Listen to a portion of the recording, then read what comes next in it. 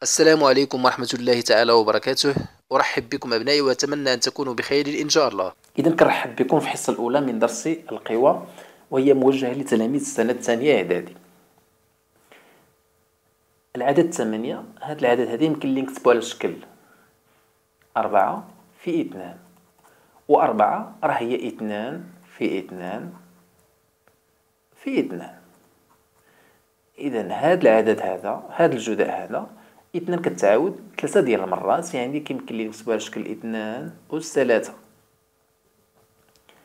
العدد ستاش هو ربعة في ربعة. أي يمكن لي نكتبو على شكل أس اثنان إذا هذه الكتابة كتسمى القوة قوة العدد أربعة. يعني القوة العدد أربعة من الرتبة إثنان. كذلك هذا العدد هذا أربعة في أربعة أربعة راه هي إثنان في إثنان وكذلك أربعة راه هي إثنان في إثنان.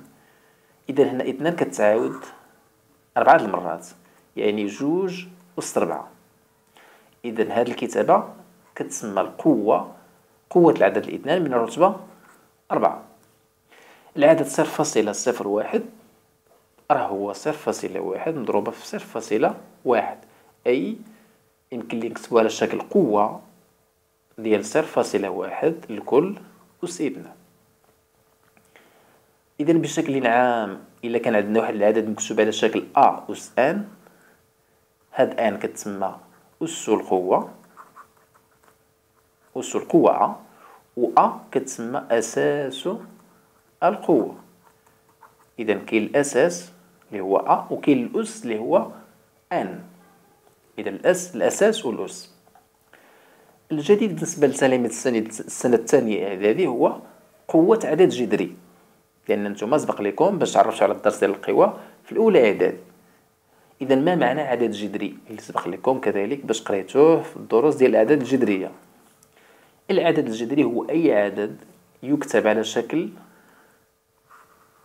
عدد صحيح نسبي على عدد صحيح نسبي.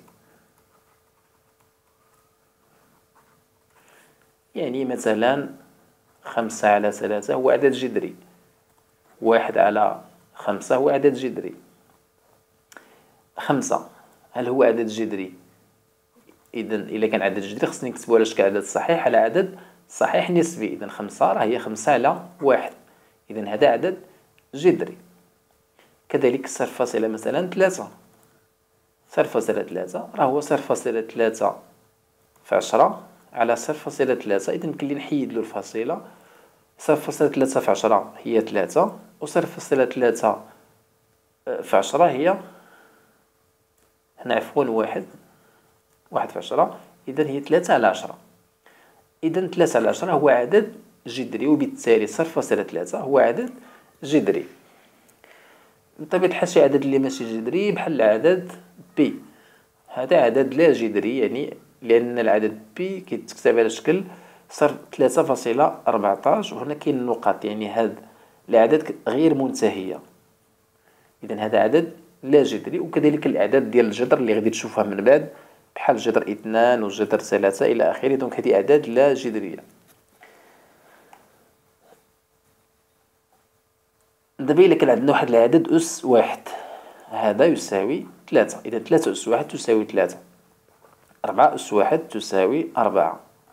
ثلاثة على خمسة أس واحد. راه هي ثلاثة على خمسة. ناقص واحد على جوج أس واحد. هي ناقص واحد على جوج. أ أس صفر تساوي واحد. أي عدد أس صفر يساوي واحد؟ ناقص جوج على خمسة. الكل أس صفر تساوي واحد. ناقص خمسة أس صفر كتساوي واحد. خمسة أس صفر كتساوي واحد. إذا أي عدد أس صفر كيساوي واحد. القوة صفر أس صفر لا معنى لها إذا معندناش صفر أس صفر. دابا غنشوفو قوة أسها سالب. سبق لكم باش عرفتو مقلوب عدد. فإلا كان عندنا مثلا ثلاثة المقلوب ديال ثلاثة هو واحد على ثلاثة. أربعة إذا المقلوب ديالها هي واحد على ربعة ثلاثة مثلا على خمسة المقلوب ديالها هي خمسة على ثلاثة. المقلوب ديال أ بطبيعة الحال أ خصها تكون تخالف الصفر لأني ما عنديش المقلوب ديال الصفر. هو أ هو واحد على أ هاد واحد على أ راه يمكن لي نكتبها بشكل آخر. راه هي أ أس ناقص واحد. إذا واحد على أ هي أس ناقص واحد. يعني واحد على ثلاثة راه هي ثلاثة أس ناقص واحد. نفس الكتابة نفس المعنى. خمسة على آه، واحد مثلا على خمسة راه هي خمسة أس ناقص أس ناقص واحد. إذا غادي ندوزو لهاد النتيجة خصكم تفهموا معنا مزيان تبعوا معنا مزيان هاد النتيجة اذا بشكل عام ا على ب عدد جذري غير منعدم وإن عدد صحيح طبيعي. قال لك هنا إلا كانت عندنا ا على ب كل اس اس ناقص ان راه هي ب على ا الكل أس ان إذا إلا كانت عندي مثلا ثلاثة على خمسة أس ناقص ثلاثة. إذا الأس عندنا هنا سالب. شنو كنديرو؟ تساوي هي خمسة على ثلاثة. إذا كنقلب العدد اللي داخل الكسر تندير المقلوب ديالو وكنرجع الأس موجب إذا ثلاثة على خمسة لكل أس ناقص ثلاثة. راه هي خمسة على ثلاثة أس ثلاثة. واحد على جوج لكل أس ناقص اثنان مثلا. راه هي جوج على واحد. إذا كندير المقلوب ديال داكشي اللي داخل الأقواس. وكنرجع الأس موجب إذا هي جوج على واحد أس آه، الكل أس جوج. هذه هي جوج أس جوج لأن واحد أس جوج راه هي واحد. نعطيكم مجموعة الأمثلة باش تفهموا هاد الكتابات هادي. خمسة على ثلاثة الكل أس اثنان دابا. هذه راه يمكن لي نكتبها ثلاثة على خمسة إذا كنديرو المقلوب وكنغيرو الإشارة د الأس. أس ناقص إثنان. بطبيعة الحال من بعد ملي غتقراو الخاصيات راه يمكن يمكن لكم تفهموا بالضبط علاش كنديرو هاد العملية هادي.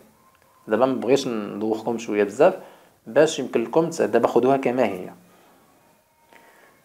إذا كنتمنى المسألة تكون واضحة. إذا واحد على ثلاثة أس إثنان راه هي ثلاثة أس ناقص إثنان. علاش هنا درنا؟ لأن عندنا واحد على ثلاثة لكل أس اثنان. إذا تساوي ماذا؟ تساوي ثلاثة على واحد لكل كندير المقلوب وكنغير الإشارة ديال الأس. أس ناقص اثنان.